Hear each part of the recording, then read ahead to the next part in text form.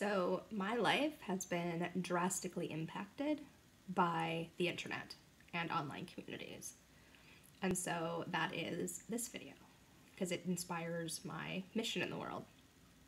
Craigslist has been responsible for my last serious relationship, a lot of other less, like more minor relationships. Um, a few of my best friends I've met through Craigslist by putting up, I put up this goal setting group a decade ago. And one of the people that answered is one of my best friends to this day. She is amazing, amazing piece of my life. And my ex boyfriend is an amazing piece of my life, both of whom I wouldn't have met through, not through Craigslist. I've had a lot of roommates. I have met nearly all of them through Craigslist when I was given the capacity to um, be the one to find my roommate, to have them be more compatible rather than them going through my landlord.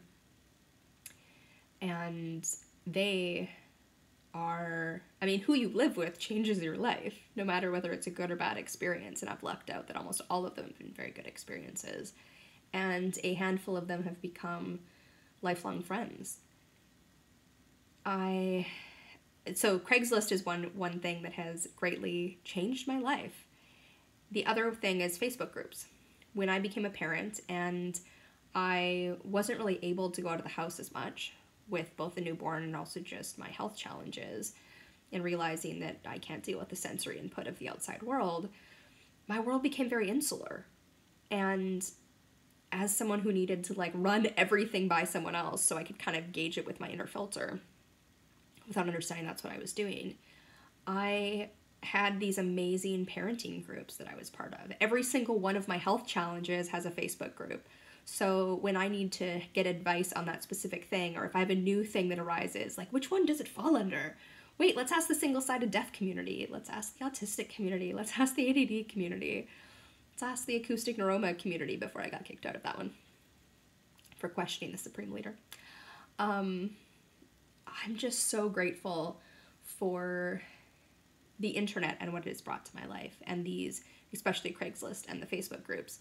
Now there's Game B in the Facebook group and I don't think I'd met half the people I have met if it hadn't been for for that group because the the Twitter Game B thing just doesn't work for for my brain.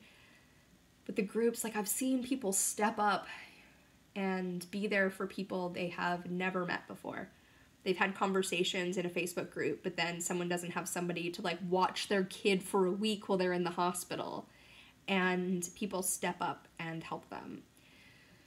One of the mothers was dying of cancer, is now um, passed away, and the amount that the community stepped up and the integral part of the community that she was to watch people, you know, gather around finding like answers to questions. What is this toy? Where can I find this toy? Because it's my kid's favorite and we've lost it crowdfunding and crowdsourcing and just made me see that people, when given the option, are good. We want to help each other. We want to do kindness. And even one of the groups kind of was um, this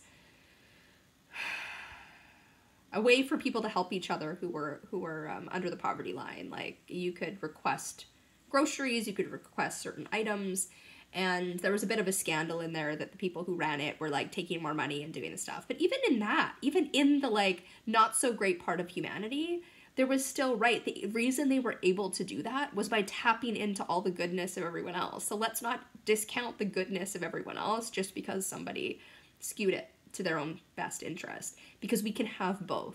We can do both. We can create systems that aren't as easy to manipulate and still tap into the goodness of humanity.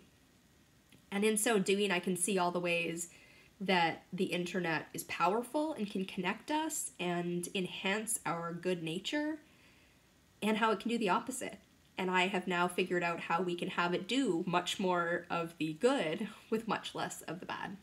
And a big piece of that was seeing the blessings that both Craigslist and these Facebook groups have had on my life and the lives of people around me.